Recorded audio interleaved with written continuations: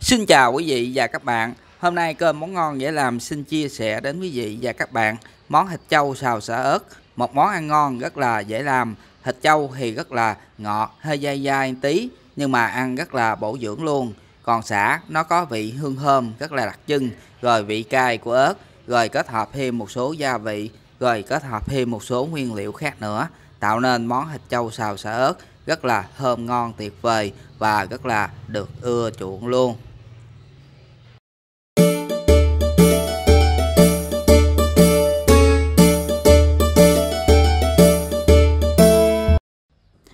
Các nguyên liệu và các gia vị của mình thì gồm có một dĩa thịt trâu mình đã à, sắc ra sẵn luôn rồi đó quý vị. Dĩa thịt trâu này khoảng 400g. Mình mua cái phần à, nạm nha quý vị.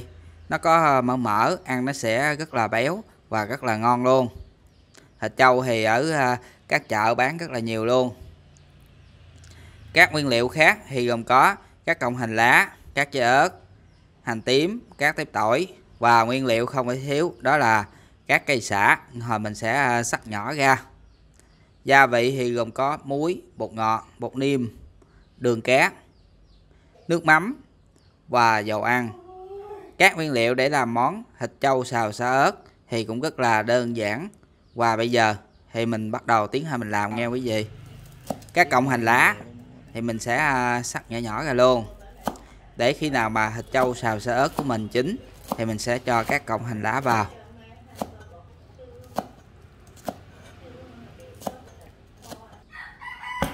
Củ hành tím thì mình cũng đập cho nó dập dập. Rồi sau đó mình cũng băm cho nó thật là nhuyễn ra luôn, để nữa mình phi. Tương tự thì các tép tỏi mình cũng đập cho nó dập dập. Rồi sau đó mình cũng băm à, cho nó thật là nhuyễn ra luôn, để nữa mình phi chung với à, củ hành tím.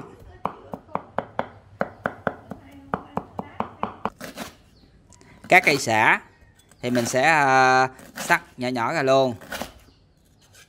Hôm nay mình mua xả cây rồi về mình tự sắc ra luôn nha quý vị thì nó sẽ thơm hơn ngon hơn. Mình sắc à, ờ, to to như vậy luôn nè quý vị cũng không cần à, phải băm à, nhuyễn ra luôn nha quý vị. Mình để to to gì luôn thì mình xào nó sẽ à, thơm hơn và ngon hơn. Cũng khoảng à, 200g các cây xả quý vị. Là vừa nghe quý vị. Ớt thì mình cũng băm uh, nhuyễn ra luôn. Để hồi mình sẽ uh, trộn chung với xả băm. Và một phần thì khi nào à, uh, châu xào xả ớt chín thì mình sẽ uh, bỏ lên trên để cho nó đẹp mắt hơn. Đó băm nhuyễn ra luôn.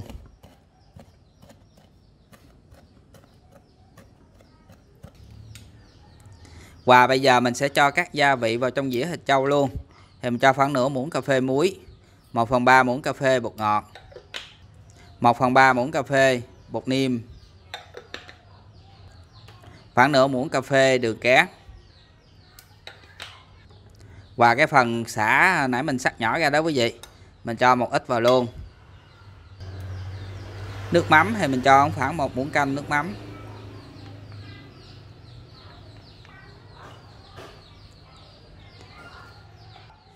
Sau khi mà đã cho các gia vị vào trong dĩa thịt trâu rồi thì mình sẽ đảo đều lên nha quý vị.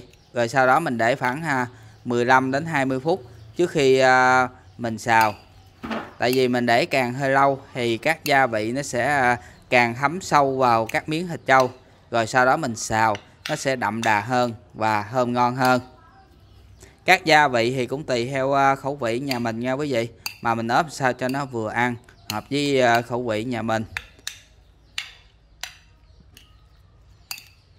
Và cái phần ớt à, băm nào quý vị thì mình cũng cho vào trong cái dĩa xả luôn.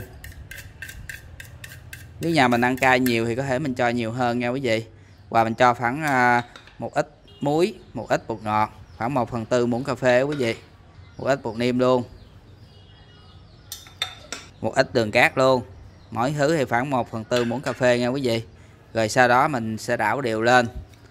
Để cho ớt và các gia vị nó sẽ à, hòa lẫn vào nhau với ờ, uh, xà bông.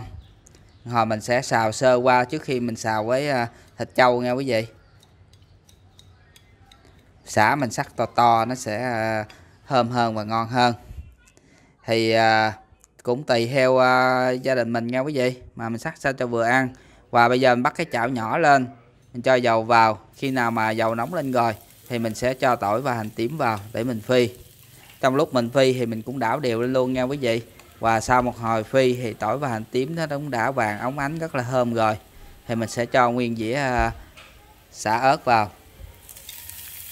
Mình xào uh, sơ như vậy nè quý vị. Hồi mình xào lại uh, với uh, thịt trâu nó sẽ uh, rất là đậm đà và rất là thơm ngon luôn.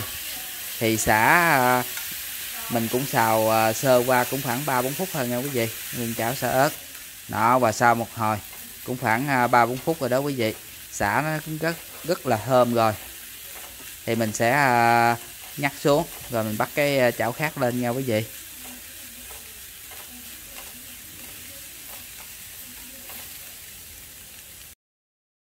Và bây giờ mình bắt cái chảo rất là to lên nè quý vị. Tương tự thì mình cũng cho dầu ăn vào. Khi nào dầu nóng lên thì mình cũng cho cái phần tỏi và hành tím cái phần còn lại á quý vị mình cho hết vào luôn để mình phi. Hôm nay mình xào à, thịt trâu xào sơ ớt trong cái chảo này luôn nha quý vị. Và trong lúc mình phi mình cũng đảo đều lên luôn. Và cũng sau một hồi phi đó quý vị tỏi và hành tím nó cũng đã vàng ống ánh rất là thơm rồi. Thì mình sẽ cho nguyên dĩa thịt trâu vào. Nãy giờ mình ốp các gia vị thì cũng đã hơn uh, 20 phút rồi nha quý vị.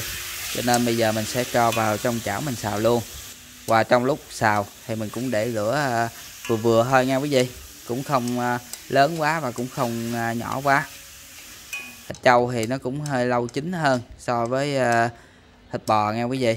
Tại hôm nay mình xào nạm. Mình xào cũng khoảng 5-6 phút rồi nè quý vị.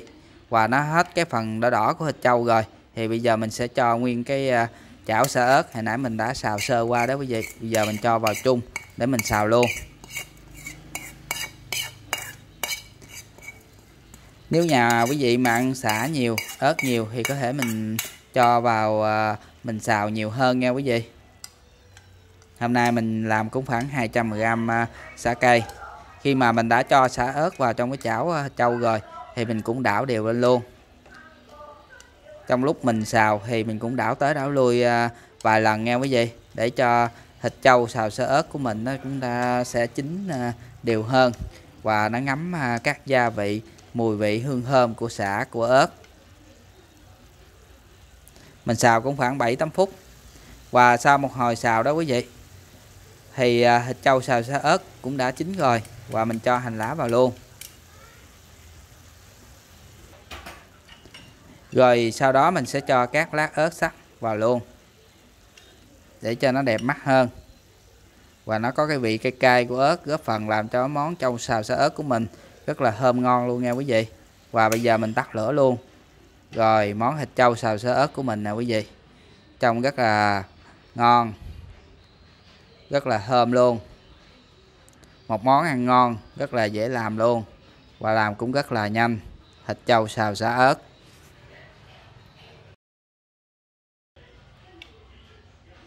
Và bây giờ mình sẽ à, múc hết ra dĩa luôn nha quý vị. Hôm nay mình xào à, gần đầy dĩa luôn. Khoảng à, bốn người ăn là vừa. Đó múc hết ra luôn. Và sau một hồi múc ra hết đầy dĩa nào quý vị. Và bây giờ mình quay à, cận nào quý vị. Nguyên dĩa thịt trâu xào sơ ớt cũng đã chín rồi đã thành phẩm rồi đó quý vị.